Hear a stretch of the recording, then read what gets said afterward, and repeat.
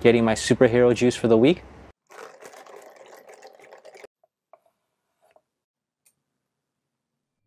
Hello everyone, I'm Michael T. Chuang and welcome to a day in my Bobo life. Today's vlog is just an unboxing of an airplane seat that I ordered online. I used to travel a lot on an airplane and so I'm a pretty big aviation geek. This will give me another remote working desk. Sometimes I want a different background for my vlogs. Here are some videos and photos of me setting it up. I know some of you guys will like seeing this and find it interesting. If you want your own, you can go to SkyArt and order it yourself.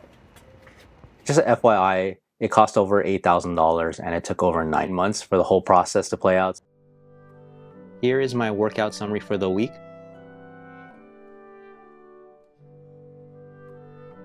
Another 8 vlogs completed. It's a wrap.